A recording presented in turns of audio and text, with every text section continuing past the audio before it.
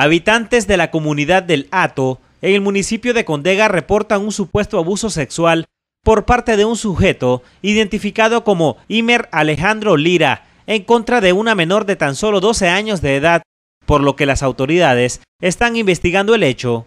Bueno, lo que se está trabajando y se está investigando en el municipio de Condega es un caso de abuso sexual, ¿verdad?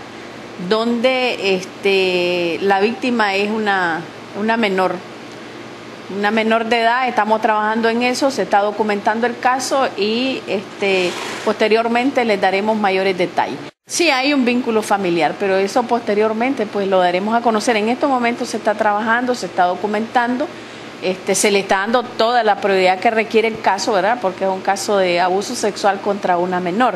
La víctima es de la zona rural. Extraoficialmente conocimos que el victimario ya tenía un tiempo de estar cometiendo este supuesto abuso, donde al parecer este tiene un vínculo familiar con la menor. Por el momento no tenemos detenido, sí, por el momento no tenemos detenido. No, está haciendo, estamos investigando el caso, ¿verdad? Una vez que tengamos los resultados, pues procederemos a poner el, el, a detener y ponerlo a la orden de la autoridad competente. Realmente cuatro casos de abuso sexual en lo que va del año es motivo de preocupación, ¿verdad? Tal vez no, no la palabra alarmante, pero es motivo de preocupación. la verdad es que no son, no, no la cantidad, con un caso que se te dé, ya es motivo de, de preocupación para toda la sociedad.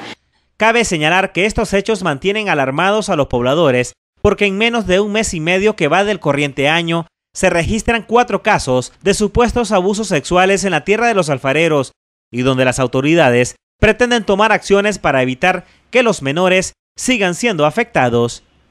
Con imágenes de Jairo Leiva, para Todo Noticias, les informó Huascarirías.